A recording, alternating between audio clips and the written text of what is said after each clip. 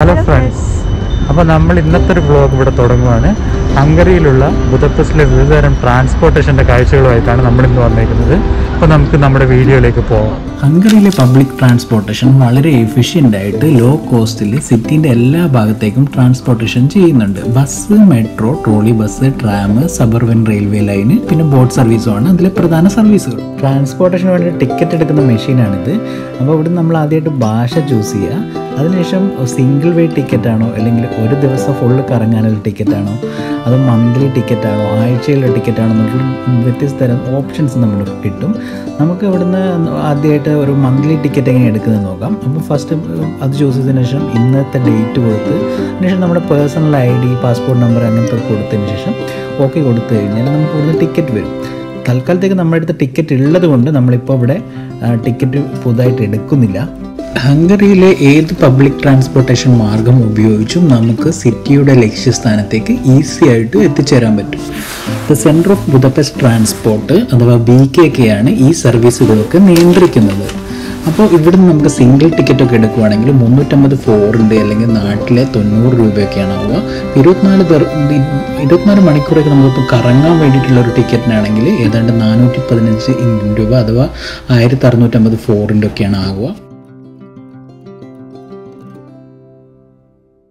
ഈ ഒരു M one metro line നിർമ്മിച്ചേക്കുന്നത് ആയിരത്തി എണ്ണൂറ്റി തൊണ്ണൂറ്റി നാല് മുതൽ ആയിരത്തി എണ്ണൂറ്റി തൊണ്ണൂറ്റി ആറ് കാലഘട്ടങ്ങളിലാണ്.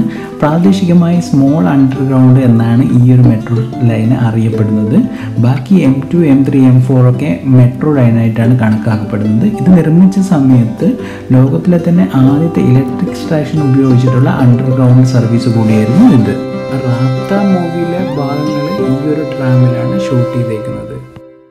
നമ്മളിപ്പോൾ ഉള്ളത് ബുസ് ബുദപ്പസ്റ്റിലെ രണ്ടാമത്തെ മെട്രോ ലൈനിലാണ് എം ടു ലൈനിൽ ഇതിന് സഞ്ചരിക്കുന്നത് ഡൽഹി പലയുദ്ധാർ മുതൽ ഓർഫ് വസേർ വസേർട്ടേറോ വരെയാണ്. ആയിരത്തി തൊള്ളായിരത്തി അമ്പത്തിനാല് കാലഘട്ടങ്ങളിലൊക്കെയാണ് ഇതിന്റെ ഫസ്റ്റ് സെക്ഷൻ പൂർത്തീകരിച്ചത്. പിന്നീട് ഹംഗറിയിലെ രാഷ്ട്രീയപരവും സാമ്പത്തികപരവുമായ കാര്യങ്ങൾ അതിന് ഇതിന്റെ നിർമ്മാണം താൽക്കാലികമായിട്ട് നിർത്തിവെക്കേണ്ടി വന്നു. അവസാനം ആയിരത്തി തൊള്ളായിരത്തി എഴുപത് ഏപ്രിൽ രണ്ടിനാണ് ഇത് പൂർണസജ്ജമായിട്ട് പിന്നീട് പ്രവർത്തനം തുടങ്ങിയത്. ഇത് ബുധപ്രസ്ഥലത്തിന്റെ ഈസ്റ്റ് വെസ്റ്റ് ഭാഗങ്ങളെ തമ്മിൽ ബന്ധിപ്പിക്കുന്ന ഒരു ലൈൻ കൂടിയാണ്. ഈ ഒരു മെട്രോ ലൈന് ധനും റിവറിനെ ക്രോസ് ചെയ്ത് അണ്ടർഗ്രൗണ്ട് വഴിയിട്ടാണ് പോകുന്നത്. ടൗണിലെ തിരക്കുകളിൽ നിന്നൊക്കെ മാറിക്കൊണ്ട് ശബ്ദകോലാഹലങ്ങളൊന്നും ഇല്ലാതെ ട്രാവൽ ചെയ്യാൻ പറ്റുന്നതും വളരെ പെട്ടെന്ന് തന്നെ സിറ്റീന്റെ എല്ലാ ഭാഗത്തേക്കും ട്രാവൽ ചെയ്യാനുള്ള ഒരു ഓപ്ഷനും കൂടി ആയതുകൊണ്ട് ആൾക്കാർ കൂടുതലും പ്രിഫർ ചെയ്യുന്നത് ബുദപ്പസ്റ്റിലെ ഈ അണ്ടർഗ്രൗണ്ട് മെട്രോ ലൈന് ഒരു രാജ്യത്തിന്റെ പബ്ലിക് ട്രാൻസ്പോർട്ടേഷനെ വിലയിരുത്തുമ്പോൾ അത് എത്രത്തോളം മോഡേൺ ആയിട്ടുണ്ടോ എന്ന് നോക്കുന്നതിനേക്കാളും കൂടുതൽ അത് എത്രത്തോളം കാര്യക്ഷമതമായിട്ട് പ്രവർത്തിക്കുന്നുണ്ട് യഥാസമയത്ത് വരികയും അടുത്ത സിറ്റികളിലേക്കും അടുത്ത ഭാഗങ്ങളിലൊക്കെ കൃത്യമായിട്ടുള്ള ശൃംഖലയിൽ പ്രവർത്തിക്കുന്നുണ്ടോ എന്നാണ് നോക്കുന്നതാണ് കുറച്ചുകൂടെ ബെറ്റർ ആയിട്ടുള്ള ഒരു വഴി. അപ്പോൾ അങ്ങനത്തെ രീതിയിലൊക്കെ നോക്കുകയാണെങ്കിൽ ബുദപ്പസ്റ്റിലെ പബ്ലിക് ട്രാൻസ്പോർട്ടേഷൻ വളരെയധികം മികച്ചതാണെന്ന് നമുക്ക് ഒരു സംശയം കൂടാതെ തന്നെ പറയാൻ പറ്റും.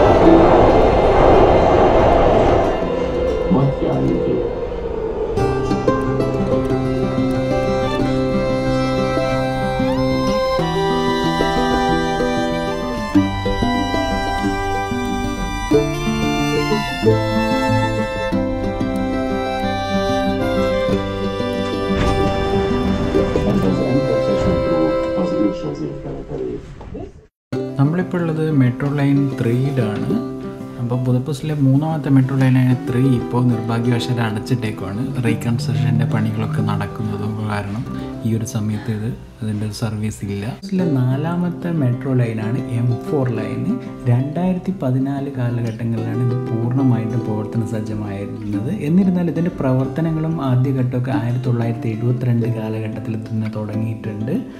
പക്ഷേ ഇത് ഒരുപാട് തവണ ഡിലേ ആയിട്ടുണ്ട്. ഏകദേശം എഴുപത്തേഴ് തവണ ഡിലേ ആയിട്ടുണ്ട് ഇതിന്റെ ഉദ്ഘാടനങ്ങളും കാര്യങ്ങളും.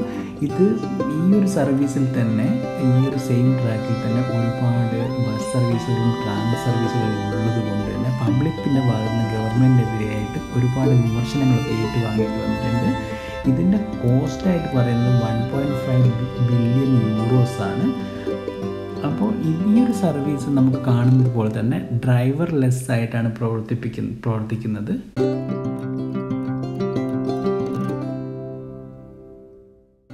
എം ഫോർ ലൈനിന്റെ ഓരോ സ്റ്റേഷനുകളിലും വ്യത്യസ്തമായിട്ടുള്ള ഡിസൈനാണ് ഇവിടെ നൽകിയിരിക്കുന്നത് അത് ഓരോന്നും ഒന്നിനൊന്ന് മെച്ചപ്പെട്ടതാണ്.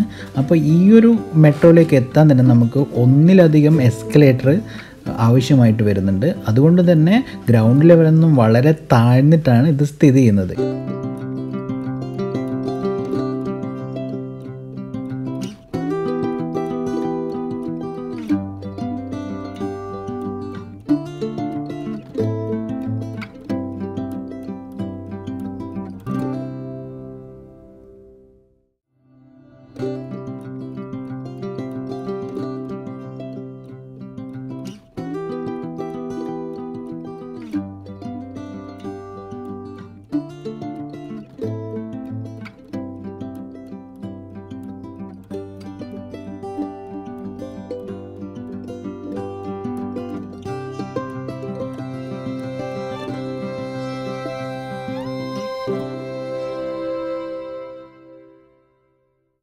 ബുദപെസ്റ്റിലെ തന്നെ രണ്ടാമത്തെ ട്രാൻസിസ്റ്റാണ് സിസ്റ്റാണ് ട്രാം ലൈനുകൾ ഏകദേശം വർഷത്തിൽ നൂറ് മില്യൺ യാത്രക്കാർ സഞ്ചരിക്കുന്നതാണ് ഇവിടുത്തെ കണക്കുകൾ സൂചിപ്പിക്കുന്നത്.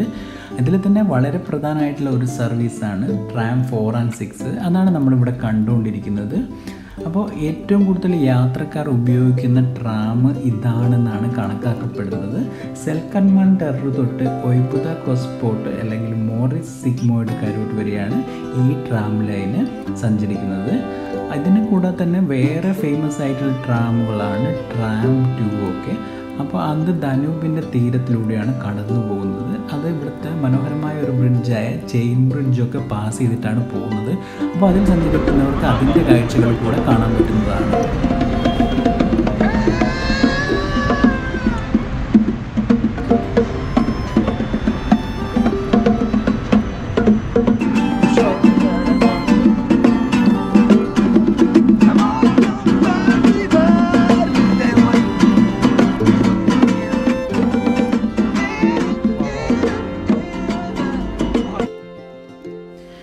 ബുദപ്പസ്റ്റിലെ അതിന്റെ സിറ്റി തൊട്ടടുത്ത സിറ്റികളിലേക്കൊക്കെ സർവീസ് നടത്തുന്ന സബ് അർബൻ ട്രെയിനാണ് ഇത്. അപ്പോൾ എച്ച് ഇ വി എന്നാണ് ഇത് അറിയപ്പെടുന്നത്. H five H six H eight H nine എന്നീ കുറേയധികം സർവീസുകളൊക്കെ ഈ ഇതിന്റെ ഭാഗമായിട്ടാണുള്ളത്.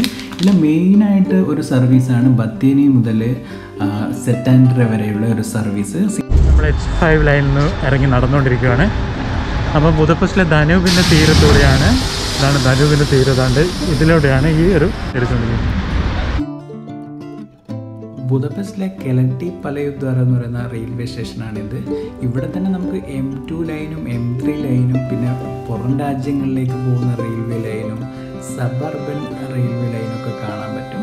അപ്പോൾ എപ്പോഴും വളരെയധികം തിരക്കനുഭവപ്പെടുന്ന ഒരു റെയിൽവേ സ്റ്റേഷൻ കൂടിയാണ് ഈ കെലട്ടി പലയുദ്വാര റെയിൽവേ സ്റ്റേഷൻ.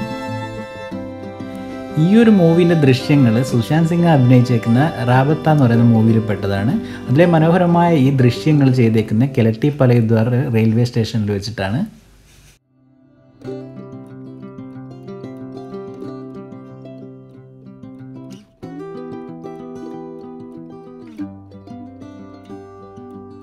ഒരു റെയിൽവേ ലൈൻ ഉപയോഗിച്ചാണ് നമുക്ക് അടുത്ത രാജ്യങ്ങളിലെ മെയിൻ സിറ്റികളിലേക്കൊക്കെ പോകണമെന്നുണ്ടെങ്കിൽ നമുക്ക് പോകാൻ പറ്റുക. ഇതിപ്പോൾ വിയനയിലോട്ടേക്കാണെങ്കിലും ബ്രാറ്റിസ്ലാവയിലോട്ടാണെങ്കിലും ഇപ്പോൾ ജർമ്മനിന്റെ വിവിധ ഭാഗങ്ങളിലോട്ടേക്കും എവിടെയാണെങ്കിലും നമുക്ക് ഇവിടുന്ന് യഥേഷ്ടം ട്രെയിനുകളുണ്ട്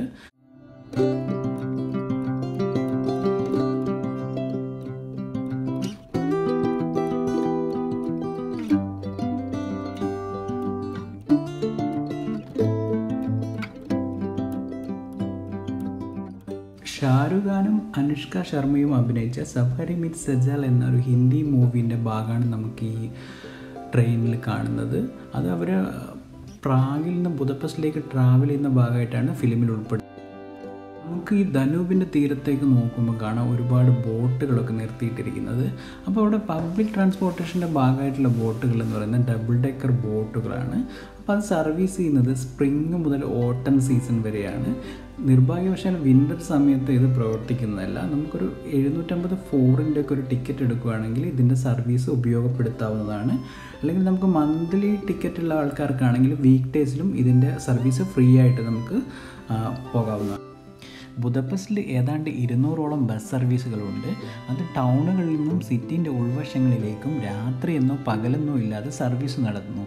എക്സ്പ്രസ് ടൈപ്പ് സർവീസ് ആണെങ്കിൽ ബസ്സിന്റെ മുകളിൽ ഇ എന്ന് മെൻഷൻ ചെയ്തിട്ടുണ്ടാവും.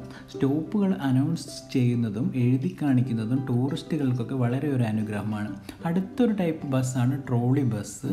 അത് ഇലക്ട്രിക് ആയിട്ടാണ് പ്രവർത്തിക്കുന്നത്. പിന്നെ റിയൽ ടൈം ഇൻഫർമേഷൻ എന്ന് പറയുന്നത് ബസ്സിന്റെ റൂട്ടുകളും കറക്റ്റ് സമയമൊക്കെ നമുക്ക് ഫോണിൽ തന്നെ നോക്കി നോക്കിയാൽ കാണാവുന്ന ഒരു സംവിധാനമാണ്. അതും വളരെ കൃത്യമായിട്ടാണ് ഈ സർവീസിന്റെ ഒപ്പം അവർ ഉപയോഗിച്ചിട്ടുണ്ട്. നമ്മളപ്പോൾ ഇവിടുത്തെ എല്ലാ ട്രാൻസ്പോർട്ടേഷനും കണ്ടു കഴിഞ്ഞു.